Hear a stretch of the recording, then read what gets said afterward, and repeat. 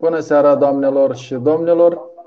Suntem în direct pe pagina de Facebook a Asociației Hyde Park, Curaj TV, unul dintre proiectele noastre virtuale.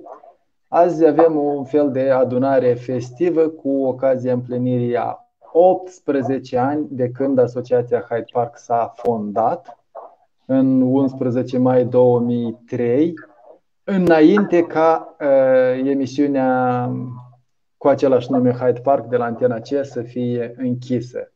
Eu eram moderatorul emisiunii, mă numesc Oleg Brega, ascultătorii mei în număr de vreo 87 ne-am adunat duminica în parc ca să constituim o asociație ca să ne apărăm drepturile și interesele.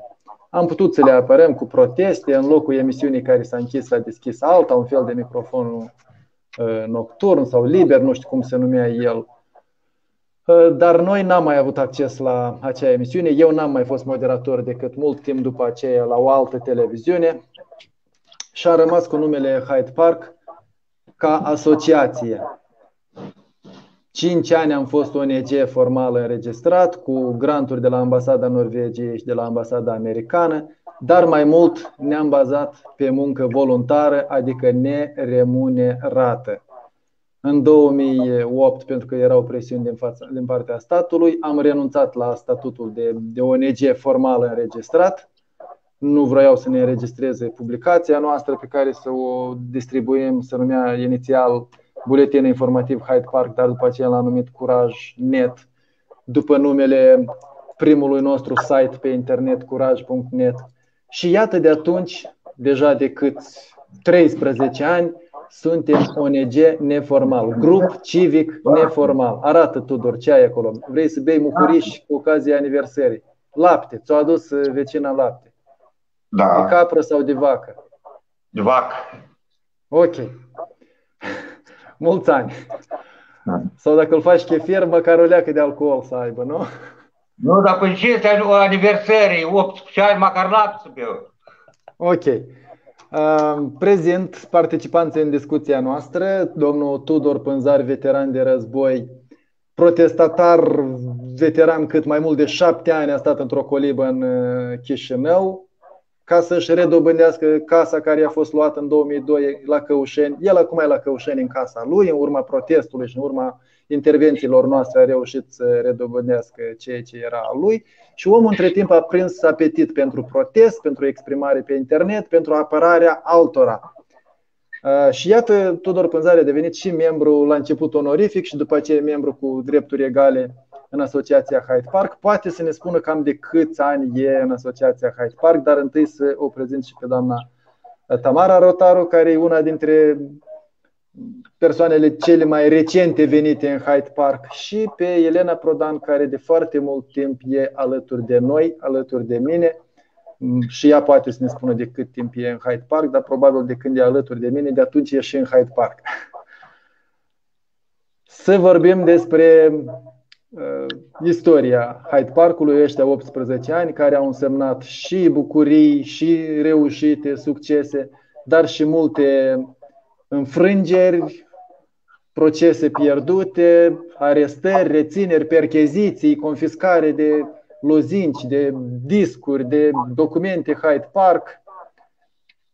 Iar după aceea, totuși, niște procese câștigate la Curtea Europeană a Drepturilor Omului împotriva statului Republica Moldova, care au dus la modificarea legislației, care au dus la schimbarea comportamentului poliției și la practicile judecătorești. Cine și ce poate să-și povestească, să-și amintească despre Hyde Park? Tudor că el se grăbește să mănânce, o dat patlagelele, o primit laptele și vrea să facă mâncare. Nu, nu te mai gândești la mâncare? Am lapte.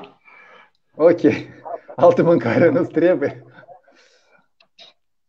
Povestește, Tudor. Te-am găsit la ambasada americană în 2000 10. 10 parcă, nu? Da. Erai uh, într-un cort, uh, protestai, cereai azil politic, ți-am explicat că azil politic nu se obține așa și te-am îndemnat să mergi la guvern. Da, două luni a stat la ambasada Americii. Două luni.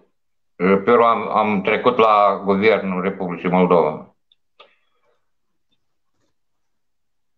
Și după care ți-au demolat o colibă când a venit George, Joe Biden la Chișinău. El era vicepreședinte american la Obama și ți-au demolat prima colibă, ai făcut alta. Da. Și a doua oară când? În 26 aprilie parcă ți-au mai, demolat, ți-au mai demolat odată coliba pentru că era ajunul tricolorului. Exact, în ajunul zilei tricolorului. Nu le-a păsat că ești veteran, că ai apărat și tricolorul și patria. Dorin Chertoacă s-a adresat în instanța de judecată, Vlad Filat o dat orden și ți-au demolat uh, coliba și te-au trimis pe, pe drumuri. Unde te-au ținut? Într-un centru infect. Țineau vagabonzi. Da, da, da. Acolo am uitat strada cum numește. Nu la Haltei 2? Stradela? Da, da, da, Haltei 2, da, da, da. Uh-huh. E Haltei, de la haltă de tren. Bun, și după aceea te-ai mutat la, pe strada București, în fața Parlamentului, atunci la Palatul Republicii era Parlamentul sediu provizoriu și acolo ai mai stat vreo 4-5 ani în colibă.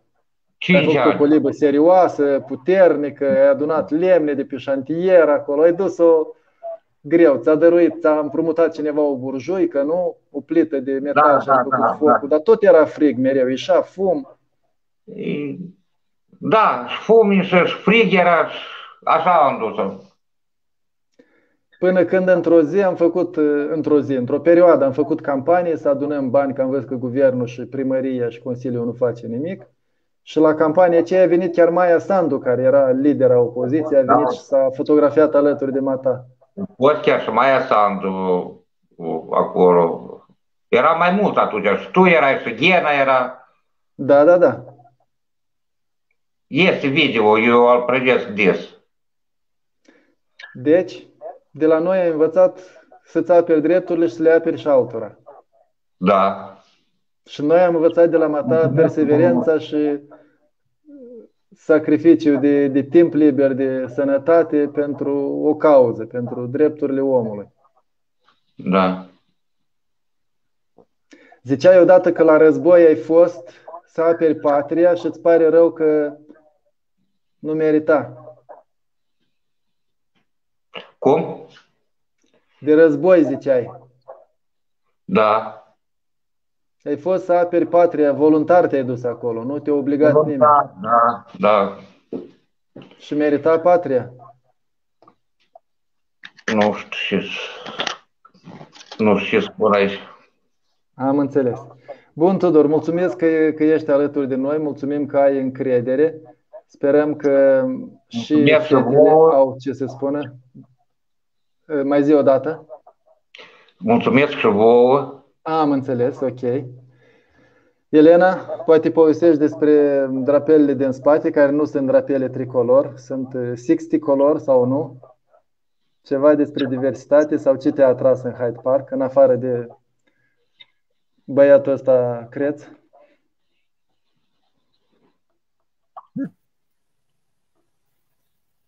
Ai pornit microfonul. Da, da, da. Eu n-am pregătit o cuvântare bună seara tuturor. Păi nici nu trebuia cuvântare. Hai să improvizăm. Uh, pentru mine, dacă ai întrebat de drapel, pentru mine asta în general e curcubiu care înseamnă egalitate, varie, varietate, diversitate. Diversitate, da, da. Și dreptul El e și un simbol creștin, nu? Parcă în Biblie am citit că curcubeul e simbolul legământului între Dumnezeu și oameni. Nu știu de ce mulți creștini când văd curcubeul parcă li se aprinde un bec de, de furie. Din cât știu eu, au fost mai multe versiuni, mai multe traduceri și când omul zice că citit în Biblie, eu cândva colecționam și verificăm textele și erau multe discrepanțe, adică cine vrea să se ocupe să citească. Mm-hmm. Șapte culori care sunt în natură, na. Uh, șapte, nu șase? Șapte în curcubeu tradițional uh, românesc, dar aici, în curcubeul ăsta, cred că sunt șase. Nu știu de unde e diferența asta, nu e important. Nu e important, nu știu care culoare nu dar știu diferența de 6-7, nu știu de ce e diferența asta. Probabil ceva cromatic. Eu n-am observat până să Mhm. spui. Mhm. Da, exact. Nu sare în ochi. Și Doamna Tamara, da, eu puțin am dispărut. Larisa Munteanu dorește să intri cu noi. i-am Mai dat poți link, participa? i-am dat link și mai avem un singur loc. Mhm. O să intre, o să E- intre acolo și Larisa Muntean. Sper că se descurcă. Ce am învățat de la Hyde Park? De exemplu, sau ce credeți că îi lipsește Hyde Parkului ca să aibă impact mai mare, să fie mai convingător. Că după cum vezi, iată, 20-30 de oameni se uită pe live-urile noastre, blogul nostru e foarte puțin vizitat, pagina noastră de Facebook, AC Hyde Park, promovând libertate de exprimare, tot are, se pare că vreo 600 de abonați doar. Poate mai mult activism? De exemplu, în ce fel? Cum? Iată, prima dată suntem cinci participanți în discuție. Salutăm și pe Salut, Larisa. Larisa, da. Bună. Adică activism civic și o problemă să o evidențiem și pe care să o dezvoltăm, să o promovăm, eu știu, cu toate că noi dezvoltăm uh, și promovăm dreptul la liberă, liberă exprimare. Mhm. Cum? Să facă live-uri așa cum a făcut azi Tudor de la judecătorie sau cum face Larisa, a făcut mai ieri live de la biserică? În ce fel promovăm libertatea de exprimare? Prin live-uri sau prin microfonul liber, micro, uh, proiectul duminical Toate, toate pe metodele alea decente. clasicilor? Toate Ok. metodele decente. Da. Ion Guzun Și- uh, comentează că laptele pentru persoanele mature este dăunător. Un fiert, un acru, zici că e mai bun. Ori fiert, ori acru. Ai, probabil Tudor nici nu-l bea crud. Mihai întreabă ce, cine v-a propus să faceți emisiunea aceea cu Ghenadi, unde a fost un incendiu, povestește mai mult dacă nu-i secret. Nu-i secret, acum și o să povestesc. Mentalitatea bisericii este învechită și rigidă, Oleg, de aceea se aprind repede. Curcubeul este viața însă și toată splendoarea lui. Uh, Și Constantin Ioan Racu ne întreabă care-i țelul baricadei Hyde Park? Că eu m-am tot lăudat că de 18 ani suntem pe baricade. Larisa, poți să ne explici ce baricade apărăm noi? Ce valori? Baricade. Val- promovăm drepturile omului, în primul rând, drepturile omului la liberă exprimare și eh, adică nu numai la liberă exprimare, în special se ciocnește Hyde Park cu când îi sunt încălcate drepturile unui om. Și atunci că omul atâta timp cât eh, nu îi se încalcă drepturile, nici nu-și mai amintește de drepturile omului. Își trăiește viața, nu, ca, nu deranjează pe nimeni, nu îl deranjează nimeni pe el, dar atunci când îi sunt încălcate drepturile și cel mai des cu care ne-am ciocnit noi la Hyde Park, când au fost încălcate drepturile omului din, chiar de justiție, chiar de justiție. Și atunci, într-adevăr, oamenii care nu au avut, așa au fost timpurile, că nici acum nu nu sunt prea repede să le, în școală să le explice copii, copiilor care sunt obligațiunile, îndatoriile și drepturile lor. Și când un om nu-și cunoaște drepturile, pe el îl pot călca în picioare, așa, la, în sens metaforic, oricine. Adică pe o să fie nedreptățit în instanțele de judecată și la serviciu când este, să zicem, concediat, că ei s-au încălcat drepturile, că au fost concediat sau chiar cel mai des este care, să zicem, nimai vorbind că încălcarea drepturilor omului în detenție, cu care s-a ciocnit foarte des din Hyde Park, adică că mulți deja se adresează, le se încalcă drepturile. Și cred că în familie, mă rog, care se încalcă drepturile mai des, evident, că a soției, dar este când și drepturile copiilor, când se încalcă și drepturile părinților, este la fel o problemă, sau și a buneilor, când auzeam de la bătrânele că, sau bătrâni că îi bat copiii, că să le ia pensia pentru droguri sau pentru alcool. Asta e mereu, cel mai, adică pe mine și animalele, ei, aici eu tot așa, nu pot rămâne fără indiferent, indiferentă față când sunt maltratate animalele, aici chiar tot. Așa, în interior mă aprind, la exterior nu, că am fost nevoită nu o singură dată să stau să apăr vreo psică, vreun cățel, vai, de câte ori nu mai am apărat. Că îi îngrijesc și îi hrănesc, asta e una, dacă n-am fost nevoit să înfrunt. Și deja e bine că când mai prins curaj și începe a cunoaște legislația, că până la urmă poți, având acum mobil, aceste telefoane mobile, poți identifica pe cei care agresează în stradă. Nu o singură dată am fost în stradă când erau uh, injurii, hărțuite femeile și mă apropiam și evident că uh, nu pot eu la să, să te iei la ceartă ori la bătaie când vezi că este foarte agresiv, foarte violent un bărbat care agresează un copil ori soția, dar puteau să mă apropii și să zic așa, dacă nu vă liniștiți, chem poliția și voi fi ca martor. Eu voi fi ca martor, cum v-ați comportat. Pentru mine, eu mereu unica că am avut nevoie tot să învăț fiind în Hyde Park, așa că eu mare apărătoare din copilărie asta e una, dar alta e că să știi ce să filmez, cum să filmez, când să filmez. Ei, este eu, ce să postez, este că eu mai trânteam cu ce postări puneam. Adică asta te vieți pe te înveți pe parcurs, dar eu sunt așa un om că um, orice observații de la oameni care deștepți, uh, nu de la uh, hai ca să nu numesc pe alții care le dragă să te ofenseze făcându-ți observații așa cu rea intenții ca să te simtă el mai superior, aceea este o categorie de oameni aparte cu tulburări de personalitate.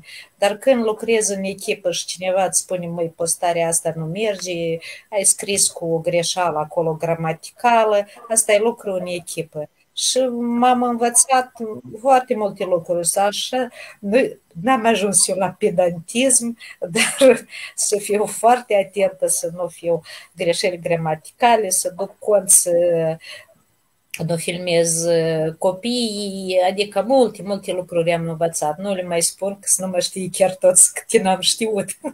Că dacă... Dar niciodată nu e rușine să te recunoști greșelile și să înveți din greșelile proprii eu, și eu să înveți din sfaturile altora. În, în sensul ăsta, Tudor Pânzare e un model de, de dorință, deschidere de a învăța. Pentru mine a fost fascinant să observ cum a evoluat el de la tractoristul, șoferul de taxi, ce era el sau uh, omul cu contuzie din 2002 care protesta în cort. Celălalt nu știa nimic decât vrea azil politic în America. Și cum a învățat el despre drepturi, cum a învățat el despre transmisiune live, despre deci o evoluție extraordinară a felului de a, de a trăi, a omului Tudor Pânzari și iată acum azi a fost extraordinar reportajul acela de la, de la judecătoria Căușeni. L-a ajutat pe un om care și el luptă săracul de 14 ani pentru o bucată de pământ, pentru Vasile Moldovanu sau cum o cheamă Tudor Pânzari. Da, da, Moldovanu.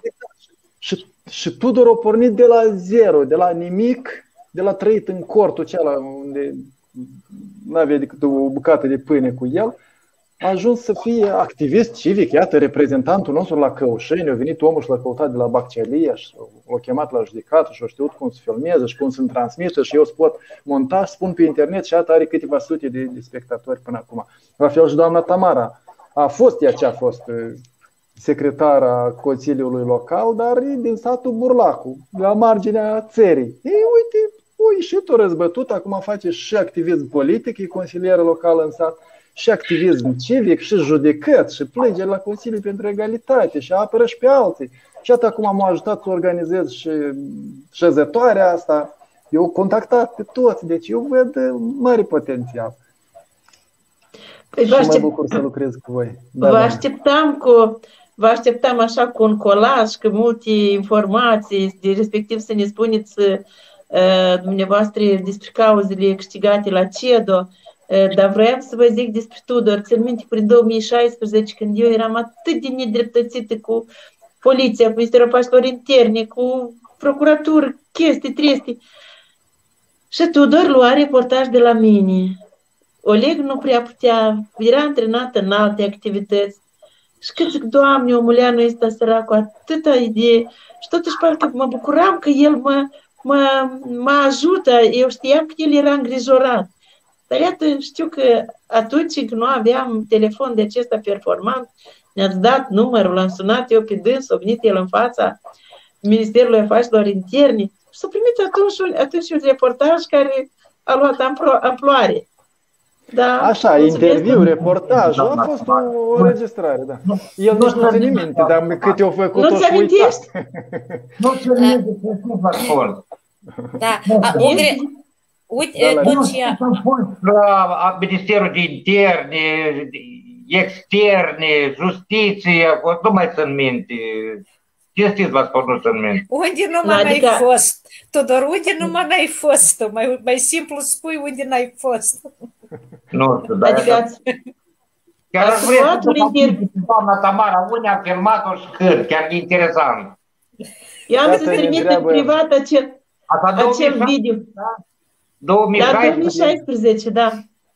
Constantin Racu întreabă dacă activăm numai în Republica Moldova. Cum să activăm în Republica Moldova dacă suntem pe internet, iar internetul e global?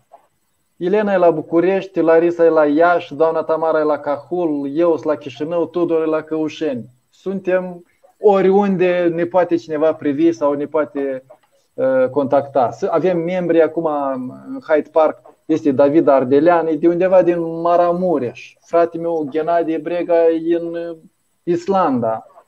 Uh, avem colegul nostru plecat în uh, Cehia la lucru acum, nu? Alt coleg era plecat în Polonia, dar acum lucrează. În Polonia. Nu, în Polonia. E plecat, e, e plecat deja în Polonia? Da. A, da. Gheorghe e plecat și el în Polonia, parcă era în Cehia. În Polonia. În Polonia. A, ok. Deci, Ia dați-vă ce coincidență, azi patru suntem cu albastru, că e mai rece la noi. Da, da, nu, am vrut să zic că o, sunt multe lucruri, parcă par foarte minore, dar care pe parcurs învățându-le în Hyde Park, comunicând, aflând de la cei care mai cu experiență, că, de exemplu, când înregistrez o cerere, că sunt că ele dispar. De exemplu, când scriau, mie îmi spuneau, nu, mă, nu m-am orientat deodată unele femei când povesteau da, că au fost uh, abuzate în familie. Și eu de tot mai mă mai orientam, dar cine a scris cereri la poliție? Am scris, dar nici nu a venit sectoristul, nici nimic. Pe urmă am prins firul, uite, când am început să mm, fiu în Hyde Park, să, cu curaj, că uite, trebuie să insiști, să fie cererea uh, înregistrată, înregistrată. să să-ți dai numărul de înregistrare. Pe, un, pe unele femei le învățam cu asta, pe, ele, pe unele le învățam că să facă copie, să fotografieze anume în registru, să fotografieze registru, că un moment, acum, acum, nu, acum nu pot vorbi, acum sun. Asta, să facă registru, să le explice că dacă unii sectoriști, unii polițiști nu pot să vină, nu vor să înregistreze, că uite, data viitoare eu vin cu un jurnalist care o să stea afară și o să filmeze cum eu intru la voi și cum ies de la voi. Adică poate că într-un fel pare ca șantaj, nici nu știu ce să, cum să zic, dar trebuia să asiguri doamna, că le explicam, trebuie să te asiguri că ți-a fost înregistrat cererea, că tu ai intrat pe ușile, ai depus-o și a dispă, dispariția ei enigmatică. Adică parcă așa, dintr-o parte pare, se gândesc unii așa, activist civic, activist civic, dar sunt situații când uh, o simplă cerere care n-a fost înregistrată poate să întoarcă totul cu picioarele în sus. Adică uh, eu știu Mihai... sigur, aș putea da exemple, dar nu are rost de dat exemplu. Vă spun eu cu siguranță că dacă nu poți, Astian, să, să te orientezi, nu-ți cunoști drepturile și atunci pot fi consecințe nu chiar bune în special să zice pentru cel care a fost victimizat sau pentru persoanele care concediat ilegal sau mai multe de astea care întâlneam. Pentru că tot vorbește Larisa, Mihai întreabă special pe, pe Larisa Munteanu. Doamna era încrezută că Plahotniuc o să facă unirea. Acum ce mai crede? Cine face unirea? Acum, bă, cred că totuși o să fie până la urmă unirea. Nu vreau să zic cine o să o facă, dar uh, cred că o să o facă. Eu n-am afirmat niciodată că de unde a luat Mihai și cine e acest Mihai, că a să o facă uh, Păi, nu știu, că o să facă, dacă el găsește unde eu am afirmat, atunci eu știu de pod că trebuie să fac, mă rog, a făcut podul care de la Grozești în România, Grozești România, Grozești Basarabia. Uite că trebuie să fac podul, asta eu știu. Dar în rest, unirea, unirea nu poate face un singur om. Exact. Exact. Unirea putem să o facem noi, o majoritate de, de oameni locuitori de Republica Moldova, pentru că majoritatea românilor o doresc unirea, majoritatea moldovenilor, a românilor de dincoace de prut, nu prea și-o doresc.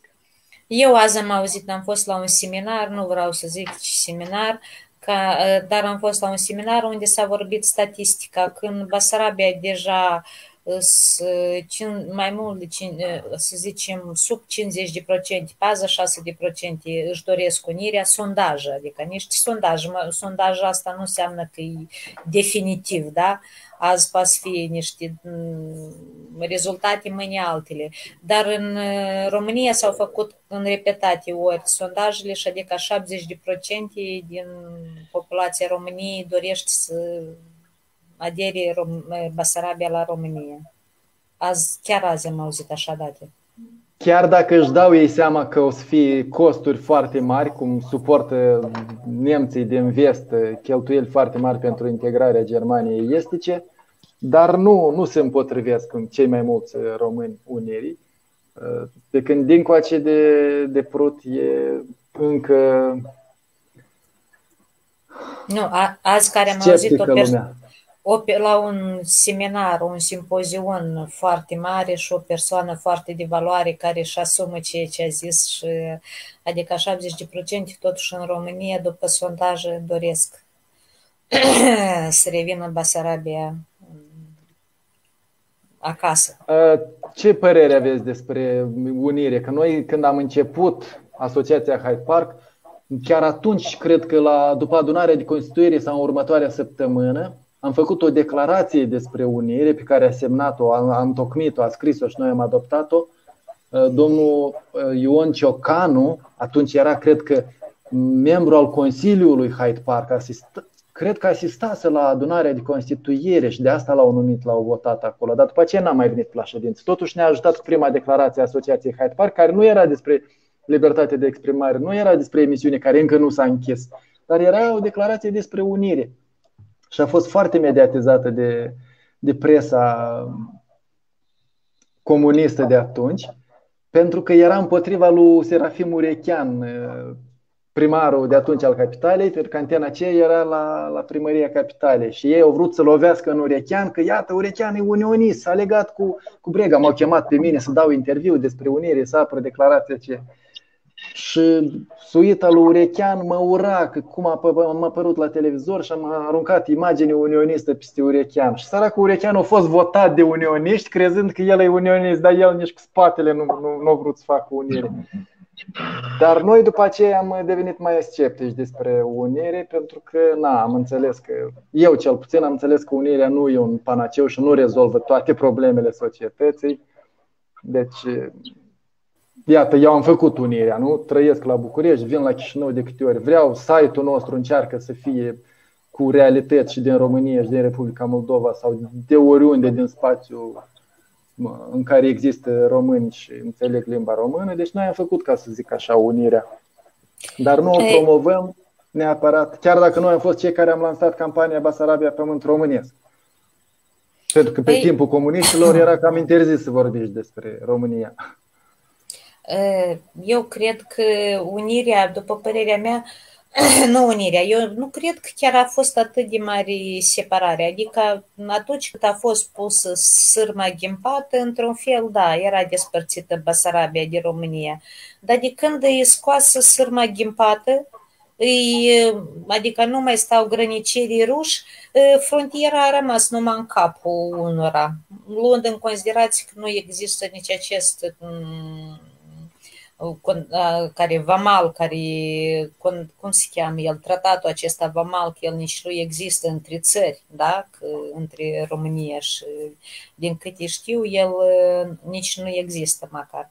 În așa caz, adică unirea asta, separarea asta Basarabia de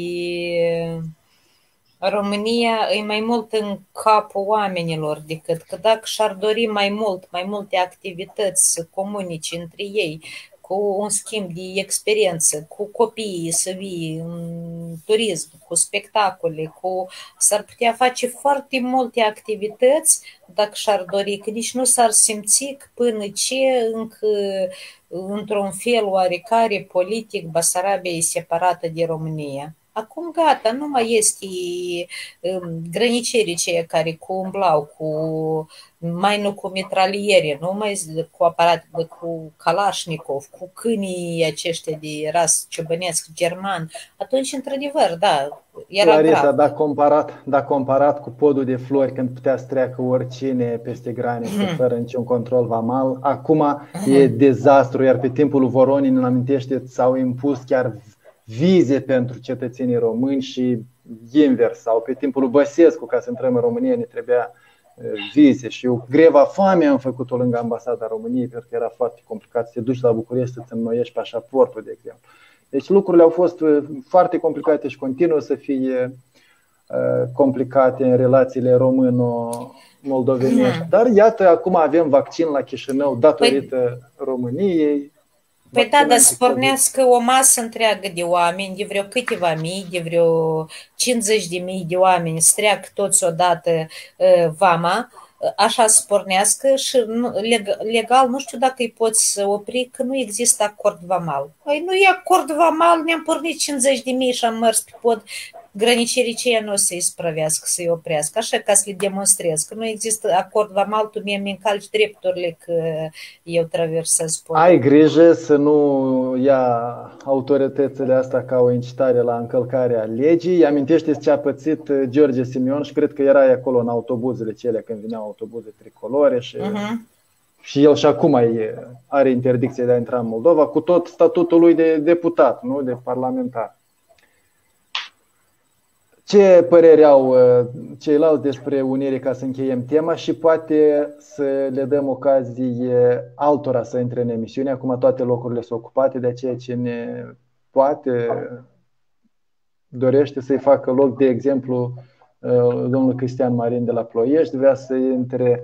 Mihai ne întreabă unde a dispărut Narcis Gărăgău, ce mai știi despre el. Îl văd destul de activ pe internet, pe Facebook, dar nu prea mai participă în discuțiile noastre. Probabil e preocupat mai mult de viața politică decât de cea civică. Nu, a, Eu am vă vrut să felicit. zic că, nu, doamna Tamara, că eu iesc să cedez locul care vrea să Și astea... eu vreau să uh, cedez. Acum, pot și eu să ies. A, nu. Și asta vreau să zic că eu nu incit la nimic, dar adică că totuși acordul vamal nu există și în continuare îi ne chinuie și cu cetățenie și cu depunerea jurământului, adică m- deci m- sunt mai multe eh, probleme, dar nu le cred că le discutăm azi cu 18 ani de Hyde Park, dar eh, sunt mai multe, eu stau și mă gândesc că posibil dacă nu știu pe cât e de corect, juridic asta, că dacă ar avea mai mult de 51 de procente, 50 plus 1 a populației cetățenia României, atunci poate ar fi mai convingător pentru cei de la Strasburg, de unde mai sunt ei Haga, că este totuși teritoriul României, Basarabia. Pentru mine aș mă gândesc că așa poate o soluție mai pașnică ar fi asta. Totuși, cred că contează ce fac acei 50% plus 1 cetățeni cu dublă cetățenie decât faptul că dețin un pașaport al țării vecine, ori, ori al ambelor țări. Contează dacă O. participă în viața publică, contează pe cine votează și într-o țară și în alta. Văd că Elena ne-a lăsat, probabil a făcut loc uh, celorlalți. Deci contează ce faci și nu contează cât dacă ai buletin pașaport românesc. Da. Să vedem dacă um, Ghenadie, în schimb, a intrat în locul lui eh, Cristian Marin.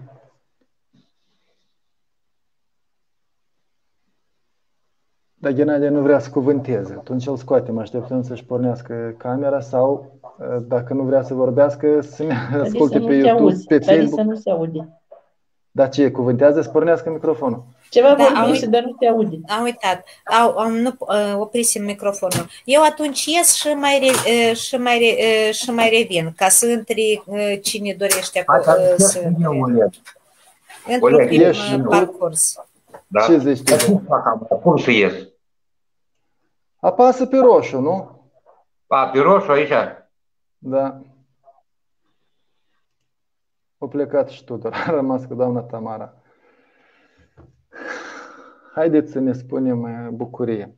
Să povestesc eu, dar cum a fost cu Ghenadie, până o să apară Ghenadie să-și pornească camera, să vrea să cuvânteze și el. Să povestesc cum a fost cu emisiunea, iată cum ne întreba Mihai, da, iată și Ghenadie aici, cum a fost cu emisiunea aceea Brega 3 la televiziunea rusească Dojd Salut! sau TV Rain. Mă rog. Um, la televiziunea rusească Dojd, chiar la Moscova, la mama ei, există emisiunea Ziadko 3. Trei frați Ziadko, jurnaliști, fac această emisiune uh, și făceau, acum nu mai fac, unul doar, doar Tihon Ziadko a rămas prezentator de, de știri și moderator de dezbateri. Dar când făceau ei emisiunea, avea destul de, de mare succes uh, emisiunea aceea. Și iată că Dojd și-a deschis studioul la Chișinău. Se extindea în republicile ex-sovietice și au deschis studioul la Chișinău. Unul dintre cei care se ocupau de, de acea televiziune m-a contactat și m-a întrebat, nu vreți să faceți și voi emisiune? Zic, cine noi? Că eu singur. Nu ești singur, ai frați. Zic, da, am frați și cu, cu limba dezlegată și am făcut școli de film. Cam trei dintre cinci frați Brega am încercat să dăm la jurnalistică și niciunul n-am intrat, dar avem cumva experiență în jurnalism. Iată, vă propun să faceți emisiunea Brega 3. Ho, ho, ok. Și am făcut-o. Am făcut vreo 4-5 ediții până când studioul lor minunat, extraordinar și foarte primitor din centrul Chișinăului a ars. Și n-au mai avut puteri să-și revină, au înțeles că asta probabil e un semn că nu sunt bineveniți și n-au mai eh, restabilit eh, studioul din, din Chișinău. În schimb, eu cu frații am continuat să facem emisiunea online și încă mult timp după aceea, vreo un an, doi, tot făceam săptămânal uh, emisiunea Brega 3, discuții Brega 3. Uneori eram doar doi frați Brega, uneori eram vreo patru frați Brega, dar în felul ăsta ne-am exprimat cu genericul Brega 3 până când am văzut că nu prea multă lume ne urmărește și am înțeles că efortul nostru e prea mare pentru efectul pe care îl aveam. Unirea va fi neapărat, altă ieșire nu avem, dar sunt probleme multor cu identitatea, zice Constantin Ioan Racu despre tema despre care am vorbit mai devreme. Doamna, dumneavoastră ce părere aveți despre unire? Cineva a veți întrebat uh, des, despre o, o, o postare sau ceva cu Ghenadie cu incendiu, să povestiți ceva mai în detalii dacă nu e secret. Inițial a fost un, așa o întrebare. Și eu acum ce am povestit, doamnă? Hai să povestească și Ghenadie, dar încă o dată. Pentru cei mai puțin Păi- atenți. Stați Eu o despre- leacă că eu am înțeles despre că asta am incendiul vorbit. adevărat. Eu despre asta am vorbit. Și a fost incendiu adevărat, o ars studioul. Și o ars și îmi pare cel mai tare rău, îmi pare de Era- acvariu cu peștișori. Eram, con- opa, eram concentrată la careva mesaje și iarăși cățelușii mei fac gălăgie și zic să nu vă deranjeze. Da, Ghenadie, ne-ai urmărit de la început, ai auzit întrebările sau vrei să Da, dacă poți, întâi de toate precizează dacă suntem în live undeva sau e discuție internă. Suntem pe Curaj TV, mm. pagina de Facebook în direct și 13 oameni ne privesc acum, dar 14 au dat like-uri. Super. Uh, felicitări Hyde Parkului, felicitări celor care au rezistat pe baricade, pentru că nu e atât de ușor să faci parte dintr-un grup civic în Moldova, atât timp cât știm cum e nația, cum sunt oamenii, cât de puțin le pasă și cât de puțin dornici de a se implica sunt și poate e inutil să pomenesc întrebarea de fiecare dată când vine cineva nou, da, eu ce o să am din asta? Dacă ies la un protest, dacă fac o petiție, dacă fac un proces de judecată, dacă în general urmăresc un subiect 2, 3, 4 ani de zile, ce o să am eu din asta?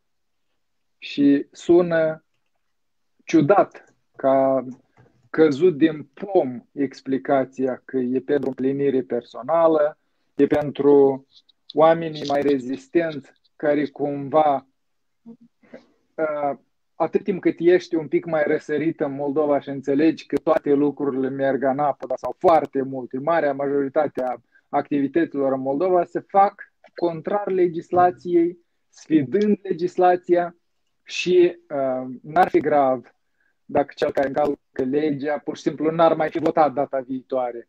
Avem și o altă problemă, uitarea. Faptul că nu ne dăm seama cât de nociv pentru noi ca popor, ca nație, ca parte din națiunea română, cât de rău e să uiți răul, să uiți uh, ceea ce a fost în detrimentul tău, în în, în dauna intereselor tale ca cetățean, pentru că avem toți o singură viață, toți trăim o singură dată pe lumea asta și în momentul în care acea viață o trăim ca un câine legat la cușcă, care are acces la resurse foarte, foarte limitate, care toată viața și-o petrece la locul de muncă fiind plătit cu bănuți, drepturi nu sunt respectate, libertatea de a circula nu ai, nu ai nimic. Și atunci eu mă întreb cât pot rezista oamenii ăștia fără revoltă, cât pot rezista fără să încerce a se împotrivi. Că nu zic toți dintr-o dată, din 3 milioane, câți ori mai fi rămas acolo, să zicem, cu un milion jumate sau 2 milioane, câți au rămas în Moldova, marea majoritate din cei plecați, nu pot să vină acasă să vă fac proteste.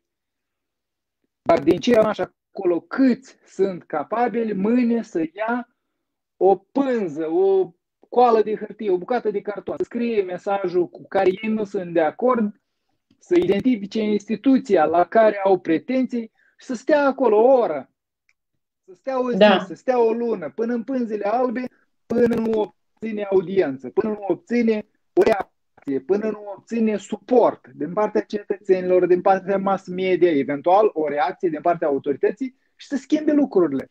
Până oamenii nu o să ceară nimic, lucrurile nu o să se schimbe de nicio culoare. Mă uitam acum cu inima strânsă la niște imagini video din 2007, 2004, 2008, 2009, da? în ajun de potetele din 2009.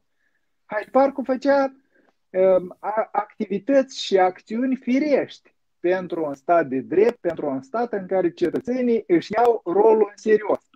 Dacă cetățenii nu și-au luat rolul în serios și n-au reacționat de fiecare dată când sunt călcați în picioare, n-au reacționat când le-a furat un, un bou sau saci din rezerva de stat, provizii, nu? Rezerva de stat, când a fost împărțită în stânga și în dreapta, n-a reacționat atunci când s-au furat bani din banii publici. După aia, cetățeanul când află că an de an, prin scheme, mafia de la guvernare mai fură câte un miliard de dolari sau de euro da? Și astea sunt rapoarte ale instituțiilor internaționale. Chiar nu este evident când ajung de alegeri, oamenii trebuie să mobilizeze și eventual trebuie să discute cât mai mult între ei ca să înțeleagă exact. Da? Pentru că până acum de 30 de ani tot alegeri proaste am făcut. Ce ar fi măcar o dată să ne mobilizăm rudele cunoscuții, să votăm mai bine, să votăm altfel decât până acum, ca să nu mai fie frăciunile astea. Uite numai bombonica, numai mesajul idiot de la cei de la guvernare de Moldova, de la dodonii ăștia care de zeci de ani la guvernare, că nu sunt bani pentru alegeri. De ce el a acceptat, oameni buni? Ar fi practic o săptămână să nu fure, fiind la guvernare și automat ar fi acele 120 de milioane de lei în bugetul cec. ce cu porcăria asta nu sunt bani de alegeri? Păi nu vi se pare că asta e sfidarea sfidărilor? Am acceptat multe porcării din partea celor de la guvernare, pentru că așa e felul nostru de a fi. Dar Hyde Park a fost un pic altfel. Hyde Park a încercat să arate că nu e chiar totul uh, atât de roz, nu e chiar totul atât de frumos și în color. Noi am arătat culoarea reală a societății. Puneam oglinda în fața lor și le arătam că, uite, așa suntem noi, așa, așa arătăm, alb-negru, hidoș, cu probleme într-o, într-un domeniu, în altul. Și da, s-au aruncat multe borcane spre Hyde Park, multe capuri sparte avem, multă dezamăgire. Lumea nu întâmplător pleca de asociație, plecau la greu. Unii intimidați, alții sictiriți, alții constatau că de fapt din asta n-ai străiești. Și da, eu îi înțeleg. Dar mâna de oameni care a rezistat până acum, eu zic jos pălărie, băieți, continuați cât mai rezistați. Pe baricade este loc de foarte mulți activiști civici. Și prima regulă ca să fii activist, trebuie întâi să cunoști drepturile și legislația. Dacă cunoști drepturile și legislația, de aici începe totul. Vorba unui deputat care mai ieri a difuzat o fotografie, uh, Dumitru Alaiba, și zicea că fotografie de acum trei ani când am ținut pentru prima dată un megafon, mi l-a dat cineva acolo, Barbăroșii sau nu știu cine, și am ținut primul meu discurs. Da, de aici începe totul. Atunci când ai acces la un megafon sau când te rupi să ajungi la un megafon sau pur și simplu ieși în față, ieși la o tribună și te exprimi. Dar de aici încep lucrurile serioase. O să ai un, tremur, un tremurici de genunchi, ai să vezi că de fapt limba ți-o ia înainte și s-ar putea să mai înțelegi ce spui, dar de aici începe viața conștientă, asumată, viața pe baricade. Eu vă doresc la cât mai multă lume să ajungeți pe baricade, măcar pe o oră, măcar pe o zi, măcar pe un an. Cei care luptă de 20 de ani, probabil au satisfacția asta că au răzbătut pe baricade, au rezistat pe baricade și cumva societatea îi recunoaște și din când în când îi pomește. Sunt multe cazuri în care sunt înjurați cei de pe baricade, dar eu am maxim respect. Uh, consider că e o muncă sisifică să te afli pe baricade, să te manifesti, să fii în prima linie, eventual să asumi că sunt foarte multe lovituri pentru cei care sunt în față, cei care pun prima dată problema sau pun degetul pe rană. Dar încetul cu încetul, uh, de aici, din schimbările, când oamenii încep să facă mai mult, să se implice mai mult, să ceară mai mult. Hai să începem cu asta, să cerem mai mult. Hai că am luat și eu mult din timp. Să-l salutăm pe domnul Cristian Marin, care apără și el o baricadă salubrității și aerului curat la, bună la seara. Bună seara, bună seara! Am să încep cu un citat din Adrian Păunescu și am venit să te salut fratele meu de peste Prut. Bine v-am găsit, da, dragii da. mei. Eu, eu sunt la Chișinău acum, da. Bine v-am uh, găsit, dragii mei. Uh, am vrut uh, din dorința de a fi alături de niște oameni frumoși, măcar 10 minute. Îmi pare rău că nu am cameră pe computer, e computerul de emisie de la radioul meu și, da, credeți-mă pe cuvânt că așa arăt exact cum e acea poză. deci nici mai frumos, nici mai urât, nici mai tânăr, nici mai bătrân. Asta... Aveți bicicletă și aveți telefon mobil cu care faceți live-uri. exact, exact.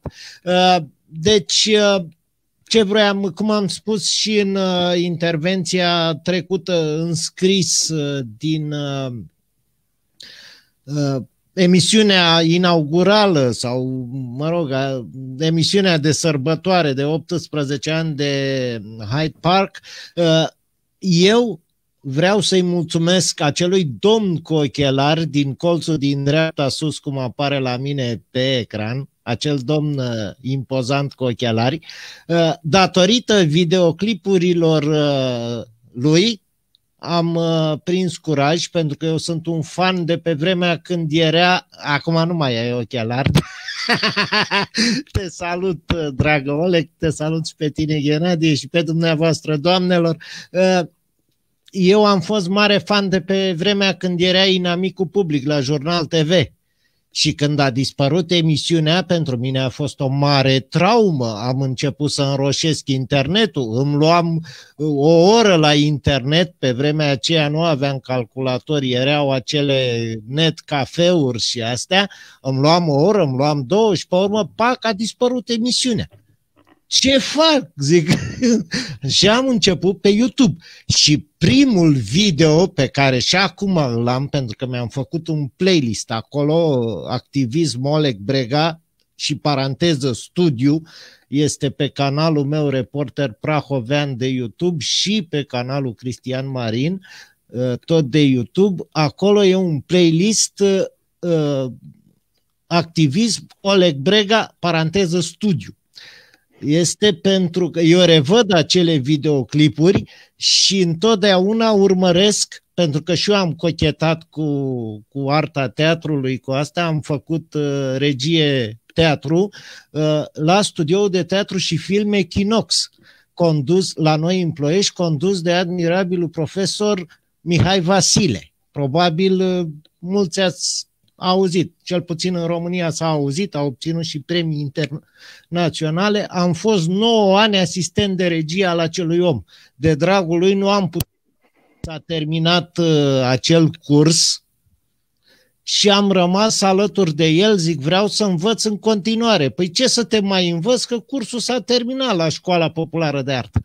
Și am rămas alături, am devenit membru în Equinox, am uh, făcut luminile la multe spectacole, așa și cu uh, Oleg am studiat și am zis rămân alături de omul ăsta pentru că mereu mă surprinde cu câte ceva. Și primul vă poftim, și vă poftim și în asociația Hyde Park. Iată, chiar ieri am primit două cereri de adeziune. Sunt onorat. Chiar uh, vreau să mai înșlefuiesc uh, curajul primul și primul video este acela cu polițistul în cămașă albă pe care Oleg îl uh, chema de îl um, filma din spate. Adică dumneata m-a injurat? De ce m-a injurat? Când treceam pe alături, m-a injurat. Vrei să chem poliția? Pe străzile Chișinăului umblă un bandit periculos. Ba, sunt doi bandiți. Este extraordinar. Primul video după eram eu supărat că nu mai găsesc emisiunea Inamicul Public, e, când am văzut cum aleargă după bătrânul ăla, acel polițist și pe urmă am găsit și volumul 3 și uh, fost, filmarea fost fost polițist și filmarea numărul 3 am găsit uh, fost polițist amenință pe Oleg Brega cu moarte. Dumneata ești om normal, de ce mă filmezi de câte ori mă întâlnești? Pentru că te caută procuratura și vreau să te dau pe vârla procuraturii. și a... roagă Nicolae Arpentin să dăm și cuvântul femeilor. Da, da, da. Constantin Ion Racu zice că emisiunea Inamicul Public a fost o idee de a deschide ochii multor moldoveni cine suntem, de unde venim și unde trebuie să mergem. Simeon zice pentru piatra din Chișinău, așa zisul Ștefan, toți sunt bani. N-am înțeles care e piatră, dar probabil se referă la piatra aceea lui Mihai Ghimpu din, din fața guvernului. No, eu am vrut să amintesc cum e activismul civic care și el al lui începe cu una, termini cu alta. Dacă vă mai amintiți, am început eu cu Diocei și când am terminat-o cu Ienuriașă ne atacau cu pietre când arbora să iei drapelul. Vă mai amintiți? Că, da, da. Totul La ce... biserica lui Cibric. Da. da. Da, Și dar al tot meu, început o așa de filmare frumos, extraordinară, da. dar tot început așa de frumos că eu tare eram spărată că toți vând ghiocei și polițiștii îmblau, parcă erau la întâlnire, parcă defilau pe podium și s-a început de fapt toată așa cu biserica de la ghiocei. Poliția, unul și cu în timpul și barba ala, pietre. da, și în timpul și ala Și, când eu și culmea cinismului, poliția sesizată despre cel care încuraja tăzâile cu pietre, mi-a răspuns că n-am putut să le identificăm că sunt 115 persoane cu numele ăsta în Moldova. Bună ziua! Alain Organ. Cum, cum, Da. cum, zicea, cum zicea Cibric, brega iai, bă! Agent Ăia al Moscovei, al Kremlinului, da, agent al Moscovei. a venit să ne uh, învrăjbească și să provoace război civil aici între noi. E un agent da, da, și- Moscovei? Și el a băgat drapelele flotei militare uh, ruse, știi? A băgat la biserica lui drapelul flotei militare și a schimbat denumirea bisericii în Sfânta Matroana, deci nume toate rusești, dar eu sunt agent rusesc. Nu, dar atunci când eu stăteam de vorbă cu polițistul, îi explicam că, uite, eu te încep a filma cum tu te primbli pe lângă ei care vând ghiocei și nu, mă, nu amintesc. În timp și ala vine un bărbat revoltat și să vă arăt, zic, nu vă vrăți la polițistul meu, că el nu trebuie să se ocupe de ghiocei.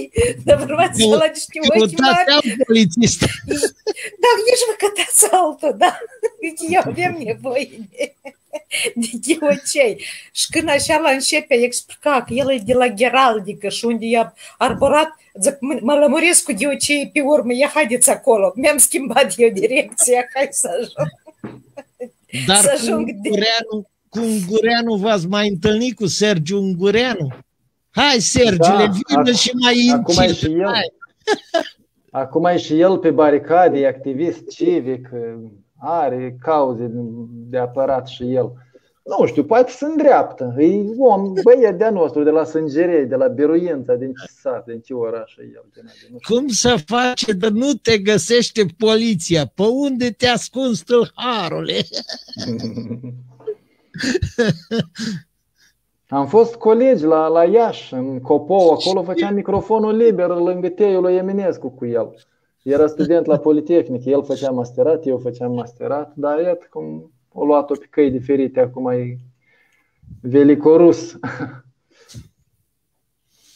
Și tot cu mâinile în buzunare umblă, ți-e teamă să nu aibă pietre pe un buzunar. N-am observat asta, că și eu obișnuiesc cu mâinile în buzunare. Țin mâinile la călduț. Dar Bun, oricum, e ora 10, poate ne gândim să facem niște concluzii de final cu libertate de exprimare, unde am ajuns, ce trebuie să-și mai propună Hyde Park pe viitor, după ce am plinit majoratul sau vârsta maturității, în ce direcție ne orientăm, demontăm fake news sau uh, căutăm limitele libertății de exprimare și vedem pericolele exprimării fără limite sau ne preocupăm de diversitate, cum era mai devreme Ileana cu drapelele cele multicolore. Eu, eu vreau așa, că zic când dacă vrei ceva să faci bine, încerci să alegi să mergi pe o nișă, adică nu, pot, nu o să rămâni niciodată indiferentă față de animale și de mediu, dar așa din temele cu activismul civic, din drepturile omului, adică cei care sunt maltratați, hărțuiți, abuzați. Adică eu aș vrea, rămân că deja două emisiuni am discutat aceste teme, aș vrea să încerc în continuare, o dată pe săptămână, despre abuz, despre violență, violență în societate. Și asta, eu vreau așa, în, pentru hai, să zicem, ca membra Hyde Park și emisiunile să fie pe curaj. Pentru a încerca, cu, cum a avut curajul, doamna Tamara, să iasă să vorbească, cât mai multă lume să iasă să vorbească care sunt uh, abuzați, nedreptățiți, hărțuiți, maltratați, cum dorești numești. Adică le sunt încalcă oricum drepturile. Nicolae Arpentin ne comentează, zice că în jurul vostru sunt patrioți adevărați. De ce niciunul nu se găsește la butoanele puterii? Nu prea facem politică, nu prea ne-am băgat în politică până acum. Eu încerc din 14 să tot candidez, ba independent, ba afiliat cu diverse partide, dar n-am reușit să răzbatem. Totuși sunt dintre uh, colegii noștri, sunt și analiști politici, sunt și uh, membri prin partide care au fost la guvernare sau în opoziție, fel de fel de dacă am fost câteva sute de membri Hyde Park în 18 ani, vă dați seama că se găsesc fel de fel de oameni. Mi amintesc că un fost ministru al tineretului, Ion Cebanu, cocheta cu Hyde Park și avea de gând să, să adere, după care a simțit el că de aici nu curg bani și șanse de accedere la putere și s-a dus la Partidul Liberal și imediat a ajuns da, sau iată Vasile Costiuc, mă atenționează Ileana, Vasile Costiuc a fost Ghenadie zice că n-a fost membru Hyde Park, dar dacă a fost cu noi la proteste, dacă a stat cu noi la răcoare, mie mi se pare că el a fost membru Hyde Park. L-am văzut da. la, la unele dintre ședințele Hyde Park, deci cred că era membru. Acum e liber de partid. Protestele mie îmi plac. Am vrut să zic încă, Ghenadie, că a pomenit de proteste, că mie îmi plac și protestele, rămân unele din preferatele mele, că ele toate la, n-am participat poate la atât de multe, dar la câte am fost, toate mi-au rămas în memorie. Mie mi-e dragi protestele. Fain, dar trebuie să găsim o cauză, că nu prea ai pentru a protesta acolo. Am. Da, este chip. Ghenadie. Alec, eu vreau să... Iată, pe 16 mai, protest la ambasada Rusiei împotriva ocupației Basarab în 812. De exemplu. Da, vreau să reamintesc că în perioada 2007, 2008, 2009, foarte multă lume se apropia de noi, mai ales de la BPR, de la Basarabia Pământ Românesc sau alte grupulețe din astea, inclusiv Voznoi, Vasile Costiuc sau alții care veneau, participau la un protest, două veneau la o ședință, două, dar nu-și manifestau dorința de a fi membru, ca după aia să poată activa ca membru, noi ne dăm seama că el e util sau nu, eventual să-l dăm afară. Eu nu mi-am amintesc nici discuția de primire a lui în organizație, nici discuția de plecare, deci cel mai probabil a fost un simpatizant activ, ca mulți alții care au venit la protestele noastre, fără a cere să devină membru. Cazul lui John Onoge, îl țin minte că a depus cererea mult mai târziu, chiar dacă venea la multe proteste, dar după aia noi am constatat că John Onoge e cumva opusul Uh, personajul care am fi vrut noi să devină membru într-o asociație de drepturile omului.